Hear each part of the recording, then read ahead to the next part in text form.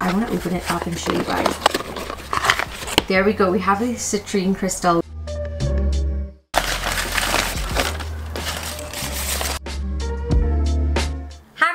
Roxy and if you're new to my channel, I'm so happy to have you here and if you've always been here, then welcome back. I do a lot of lifestyle videos, weekly vlogs, productivity and organization type videos. So in today's video, I wanted to share something a little bit different. I wanted to share five things that I've been doing recently to make me feel happier and that might be something really weird to say, but do you really do things to make yourself happy in your everyday life? Because let me tell you, when I looked at my life, for a really long time I realized that I didn't do things to make myself happy. I literally always put my happiness in the hands of other people and while they were going out and living their lives, I was really unhappy and not in a good place. So I've kind of implemented five little things in my life that I do for myself to make myself feel happy and I wanted to share it with you. So first up and basically the gist of this video is realizing that I want to do things to make myself feel happy. So it can be so many little things, some of which I'll be sharing with you, but it could also be more mental and emotional things such as realizing that you are self-sabotaging yourself that was a problem that I had for a really long time where I would literally make myself be unhappy and just stop living the life that I know I'm meant to live because I would always think about someone else's emotions, which is all fine. Taking other people's emotions and feelings into consideration is not a bad thing, but it does become a form of self-harm when you realize that you're putting your life on hold for them, whereas they're just living their life, living their best life, and who can blame them?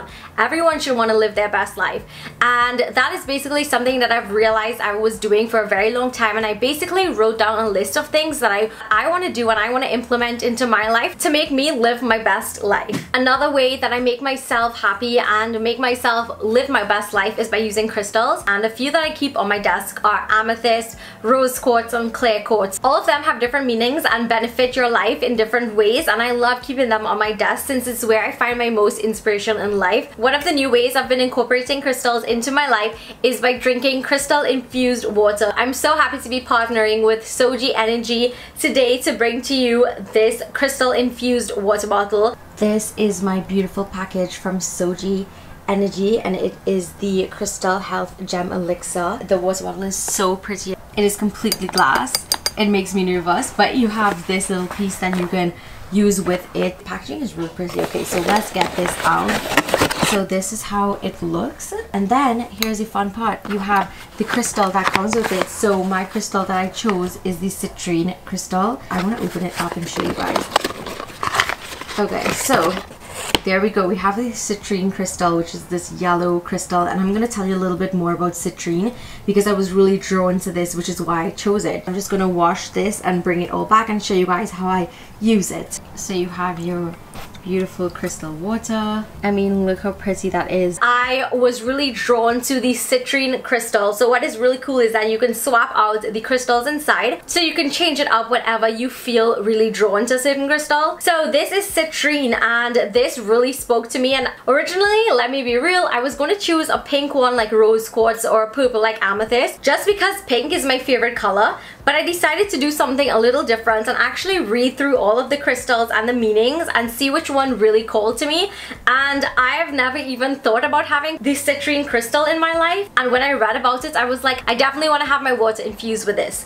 So citrine is the crystal of manifestation, which is so insane because that is basically what I'm talking a lot about on my Instagram and the content that I've been doing recently. It encourages fullness of life, fresh beginnings, new pursuits, as well as increases and awakens creativity and imagination. So this also attracts wealth, prosperity, and all good things. I was just so drawn to it and I'm really happy that I got it. I have been infusing my water with it for some weeks now and I absolutely love it. I really feel like if it's brought a huge difference upon my mindset. It makes me happy. It makes me more motivated to manifest the life that I really want to live. In fact, it even inspired me to add a crystal to my collection and it is the citrine crystal. So I have it infused in my water as well as on my desk because I feel as if it really helps me with my goals and seeing very clearly the path that I'm on. So I will have all of the information linked down below. This bottle is a gorgeous gorgeous glass bottle so you can see your crystal and this handle that you can carry it about with. I definitely recommend trying this out if you are looking towards just feeling an overall improvement in your mind and your body and your soul. And if you do get one, let me know which crystal you are getting.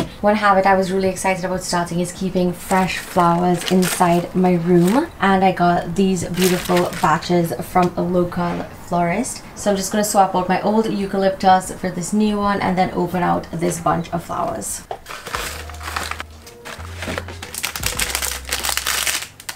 Always remember to snip the edges at an angle. Ooh. Okay, I have to find those pieces. Got a cute little note with it. I feel like if these can cut a little lower because they're so big. So cutting at an angle again. Oh yeah, that looks so much better. I guess we can leave the ones in the back like this. Oh, how cute do they look? Okay, so this is my older bunch of eucalyptus. So I'm gonna just swap this out.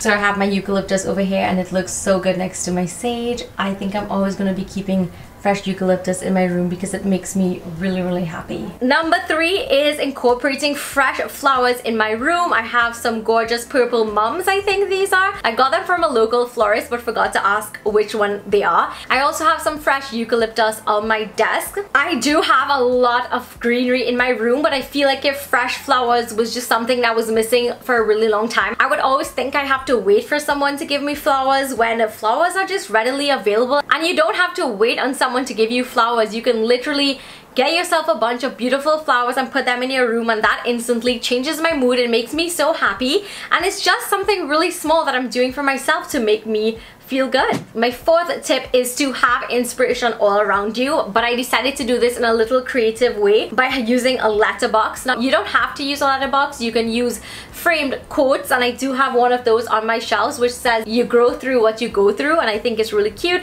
It's also a free download on my blog, so you can go ahead and check it out if you want the same print. But I do have my little letterboard, and again, I do have it on my desk because my desk is my main point where I'm always at. And when something is on my desk, I never miss it. But I'm gonna swap out. I have Carpe Diem right now, which means seize the day. It's a quote that I always felt drawn to, but I think I'm gonna do something like you are your choices or something like that. If you have any quote ideas, comment down below and let me know. I would love some inspiration. Every time I wake up, it's the first thing that I see and it really, you know, makes me stop for a second and really like just think about what it is saying and that gives me a little burst of inspiration. Okay, the last little magical way that I use to make myself feel happy and inspired is by using sage.